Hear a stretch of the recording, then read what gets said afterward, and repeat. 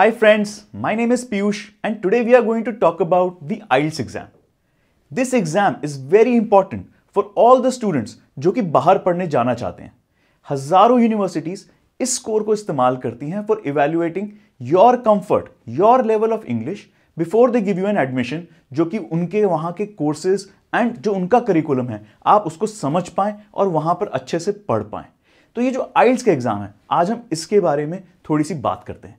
आइल्स के एग्ज़ाम के अंदर चार सेक्शन होते हैं तो इसके अंदर हम लिसनिंग का जो सेक्शन है, आज उसको थोड़ा सा डिटेल में समझते हैं। लिसनिंग सेक्शन के अंदर भी चार टाइप के क्वेश्चन पूछे जाते हैं। हर क्वेश्चन पिछले क्वेश्चन से थोड़ा सा ज़्यादा मुश्किल हो जाता है but it also helps you in warming up आपकी धीरे धीरे आप प्रैक्टिस आपकी बढ़ रही है, आपका एग्ज़ाम में कंफर्ट बढ़ता है तो आप हमेशा उसमें अच्छा कर पाते हैं। आज हम इन चार टाइप के क्वेश्चंस के बारे में थोड़ा सा डिटेल में समझेंगे और हम ये देखेंगे कि जो कौन सी सेवन टिप्स हैं, जिनको अगर आप यूज़ करते हैं तो आप इस एग्ज़ाम के अंदर बहुत अच्छे मार्क्स पा पाएँगे। So let's look at the first question जो पहला क्वेश्चन है, वो टिपिकली दो लोगों के बीच की एक कॉन्वर्सेशन आपको सुनाई जाएगी। दिस विल बी समथिंग जो आप डे टू डे बेसिस पे आप लोगों के साथ बात करते हैं। लाइक बुकिंग अ रेस्टोरेंट और buying something from a shop और booking a cab it will be something very normal एक बड़ी नॉर्मल सी एक कॉन्वर्सेशन आपको सुनाई जाएगी जिसके बेसिस पे आपसे क्वेश्चंस पूछेंगे और आपको as a fill in the blank आपके कंप्यूटर पे आपको उसका आंसर देना होगा so let us hear a sample conversation जिसके बेसिस पे हम आपसे कुछ एक सैंपल क्वेश्चन पूछेंगे so guys listen carefully Hello, I'm Mrs. Phillips, the head librarian. You are the new library assistant, aren't you? Yeah, I'm Robert Haskell, but please call me Barb. All right, Barb, let me take a few minutes to explain how the library works and what your duties will be. First, the library opens at 8.30 in the morning, so naturally we want you here and ready to work by then. Oh, of course. And you can go home at 4.30 when the library closes. Oh well, perfect. So friends, you just heard about the city library जो कि head librarian आपको city library के बारे में बता रही हैं। इसके अंदर आपसे पूछा जा रहा है कि वो लाइब्रेरी किस समय से किस समय तक खुली होती है। तो इसका सही जवाब, जी हाँ, सुबह साढ़े आठ बजे 8:30 थर्टी ए एम आपको 8:30 थर्टी ए एम इस ब्लैंक में टाइप करना होगा।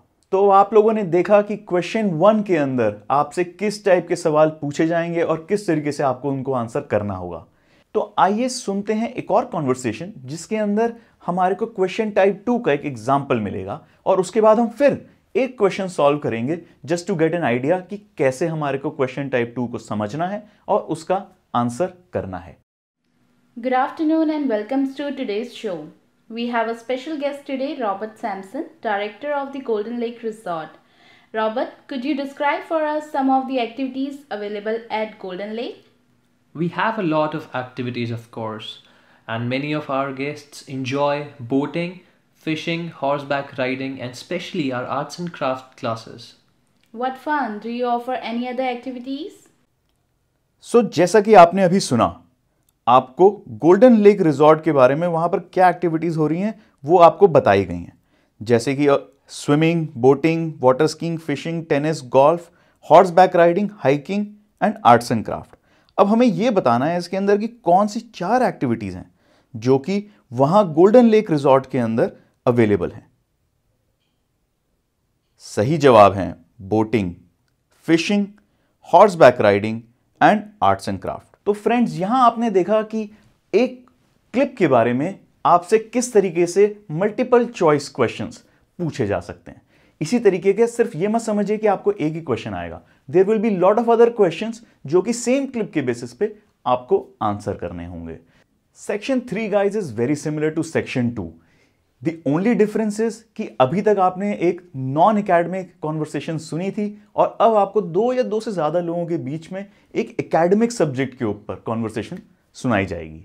सो so, अब आपको हो सकता है कि कुछ टेक्निकल वर्ड्स भी सुने सुनने में आए जो कि हो सकता है आपको जिनके बारे में पहले से मालूम ना हो। But don't worry we have some very good tips available for you at the end of this video which will help you understand how to pick and answer those questions correctly so एक example सुनते हैं section three type के question का और उसके बाद एक और सैंपल क्वेश्चन को आंसर करेंगे Okay, so let's go over the requirements and see what we have left to do.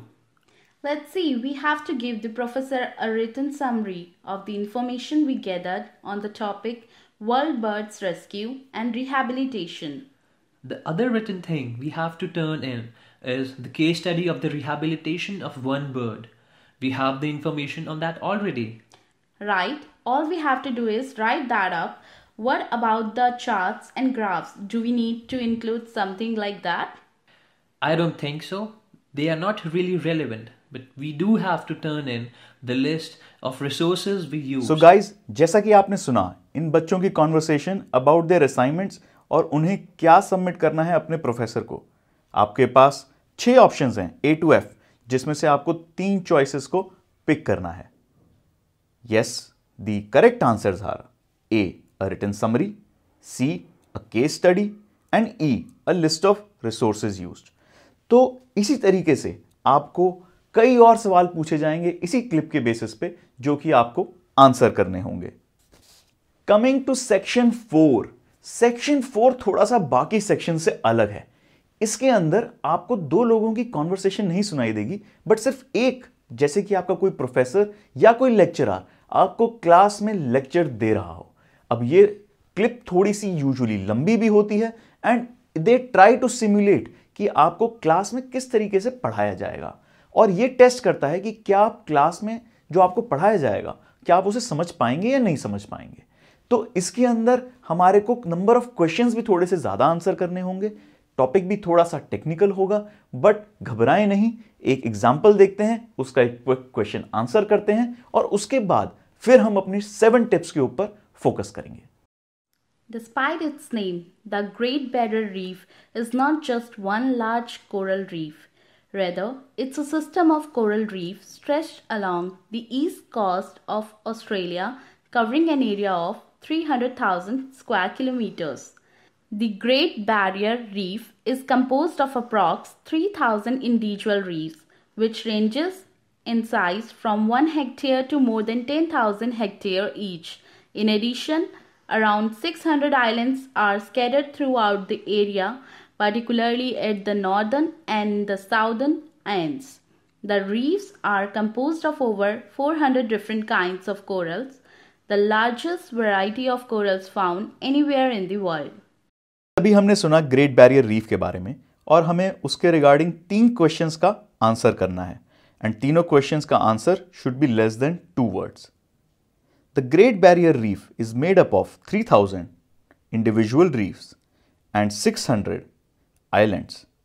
Over 400 kinds of corals can be found there. तो इसी तरीके से आपसे more fill in the blank type of questions पूछे जाएँगे सो so friends अभी आपने देखा कि कौन से चार टाइप के क्वेश्चंस आपसे आइल्स के एग्ज़ाम में पूछे जाएँगे और उनमें किस तरीके से हमें उनको रिप्लाई करना है अब बारी आती है हमारी उन सेवन गोल्डन टिप्स के बारे में जो कि आपको आइल्स के लिस्टिंग सेक्शन में अच्छे स्कोर करने के लिए बहुत बहुत बहुत मदद करने वाला है। So coming to tip number one जो टिप नंबर वन है, वो सबसे ज़्यादा इंपॉर्टेंट है। बिकॉज़ जब आपको कोई भी लिसनिंग का ऑडियो क्लिप सुनाया जाएगा, उससे पहले आपको कुछ टाइम देंगे, जिसमें आप वो क्वेश्चंस जो जब तक आपसे पूछे जाएँगे, आप वो उनको पढ़ सकते हैं उनके साथ थोड़ा सा फेमिलियराइज हो सकते हैं। तो इसके अंदर जो सबसे एडवांटेज आपको मिलेगा कि आपको ऑडियो सुनने से पहले ही पता होगा कि मेरे को क्या क्वेश्चंस का आंसर करना है। तो आप उन्हीं चीज़ों पे फोकस कर पाओगे जिनके आप बारे में आपको आंसर करना है। तो ये चीज़ का सबसे ज़्यादा ध्यान रखें। टिप नंबर टू, क्या होता है कि जब हम सुन रहे होते हैं तो हमारे को तुरंत आंसर समझ में आ जाता है। बट अगर हम उसी को तभी के तभी कंप्यूटर में लिखने की कोशिश करें तो हम जो हमारे को सुनना है, वो हम मिस कर सकते हैं। तो जो टिप मैंने हमेशा फॉलो करी है, वो है कि जब मैं वो ऑडियो क्लिप सुन रहा हूँ, मैं अपनी बुकलेट के अंदर उन चीज़ों को थोड़ा थोड़ा नोट कर लेता हूँ। जैसे ही मैं अपने आंसर्स नोट कर चुका होता हूँ, मेरे को एंड में 10 मिनट का टाइम मिलेगा फॉर ट्रांसफरिंग दोज आंसर्स उन आंसर्स को कंप्यूटर में टाइप करने का। तो ये ध्यान रखें कि हम उनको ट्रांसफ़र ठीक तरीके से करें और विथ सम प्रैक्टिस आप अगर ये टिप यूज़ करते हैं तो आप कभी भी, कोई भी लिसनिंग के ऑडियो क्लिप का कोई पार्ट मिस नहीं करेंगे। Let's look at tip number three ये बच्चों को बहुत फ़ायदा करती है जब उनको कोई चीज़ लिसनिंग की ऑडियो क्लिप में समझ में नहीं आती। क्योंकि कई बार ऐसा होगा कि आपको कुछ पार्ट आपका तो छूट गया या आपको कोई पार्ट समझ में नहीं आया। मगर हमारे को ध्यान रखना है कि हम सिर्फ़ जो इंपॉर्टेंट कीवर्ड्स हैं, जो हमने अपने क्वेश्चन के अंदर पढ़े हैं, उन्हीं पे फोकस करें और उन्हीं के अंदर से उनका आंसर हम निकाल लें। हमारे को अगर पूरी क्लिप नहीं समझ में आई तो उससे कोई फ़र्क नहीं पड़ता। This is something which you if you keep in mind you will not lose your confidence even if आपको कुछ पार्ट ऑफ़ द क्लिप समझ में नहीं आता। Let's look at tip number four इसके अंदर हमारे को यह चीज़ का ध्यान रखना है कि अगर हमारा सुनते टाइम ऑडियो क्लिप को सुनते टाइम कोई एक क्वेश्चन का आंसर स्किप हो गया तो हम पैनिक ना करें। बिल्कुल भी स्ट्रेस ना लें। बिकॉज़ अगर हमने उस टाइम स्ट्रेस ले लिया, अगर हम पैनिक कर गए तो हम अगले क्वेश्चन का भी आंसर सही मिस कर जाएँगे। तो इसलिए हमारे को इस चीज़ का बड़ा ध्यान रखना है कि अगर हम कोई एक क्वेश्चन का आंसर स्किप भी कर गए तो कोई बात नहीं। इसके अलावा हमारे को फिर भी अपना कंसंट्रेशन लूज नहीं करना है और नेक्स्ट क्वेश्चन पे फोकस करना है। टिप नंबर फाइव ये जो टिप है थोड़ी सी टेक्निकल टिप है तो इसको थोड़ा ध्यान से, थोड़ा गौर से सुनिएगा। जब भी आपसे क्वेश्चन पूछ रहे होंगे तो जो आंसर है अगर या तो वो चेकबॉक आंसर है तो तो कोई प्रॉब्लम नहीं। बट अगर आपको फिल इन द ब्लैंक्स में कुछ भरना है तो वहाँ पर आपको वर्ड काउंट दिया होगा। तो अगर आपको एक वर्ड का आंसर पूछा है, और आंसर है ट्रेन तो आपको सिर्फ़ ट्रेन लिखना है। अगर आपने उसमें लिख दिया द ट्रेन तो वो दो वर्ड काउंट होंगे, और आपका आंसर सही होते हुए भी गलत माना जाएगा। तो इस चीज़ का बिल्कुल ध्यान रखेंगे हम कि जो भी वर्ड काउंट है, हमें उसको एकदम फॉलो करना है। Tip number six it is a very good news for all the students there is no negative marking इसका मतलब है कि आपको कोई भी क्वेश्चन खाली नहीं छोड़ना है। बिकॉज़ अगर आप गलत आंसर भी देते हैं तो आपको कोई पेनल्टी नहीं लगेगी। तो इसका मतलब है कि हमारे को सारे क्वेश्चंस का आंसर ज़रूर करना है। अगर हमें लगे कि हमारा क्वेश्चन स्किप हो गया या हमारे को उसका आंसर पक्का मालूम नहीं है बट फिर भी उसका आंसर ज़रूर देंगे, क्योंकि एटलीस्ट अगर ठीक हो जाता है तो हमारे स्कोर थोड़ा बेटर आएगा। तो इस टिप का ज़रूर ध्यान रखें।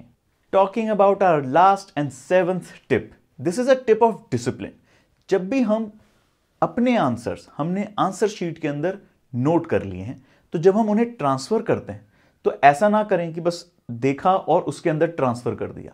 बस आपको एटलीस्ट एक या दो बार उसको ज़रूर क्रॉस चेक करें बिकॉज़ आपके पास एम्पल अमाउंट ऑफ़ टाइम होगा टू मेक श्योर कि आपने सही क्वेश्चन का आंसर सही जगह पे लिखा है। क्योंकि कई बार क्या होता है, हमारे आंसर ऊपर नीचे भी हम लिख सकते हैं। तो इस चीज़ का बिल्कुल ध्यान रखें, और अगर हम ये सातों टिप्स को बिल्कुल फॉलो करेंगे तो हमारे को आइल्स के अंदर लिसनिंग सेक्शन में अच्छा बैंड लाने से कोई नहीं रोक सकता। So friends that's all for today today we have learn everything that is there to know about the IELTS listening section we have gone through the four types of questions and हमने उनके कुछ sample questions को भी practice किया है and now we are powered by seven most important tips और अब आपको आइल्स के लिसनिंग सेक्शन में अच्छे नंबर लाने से कोई नहीं रोक सकता।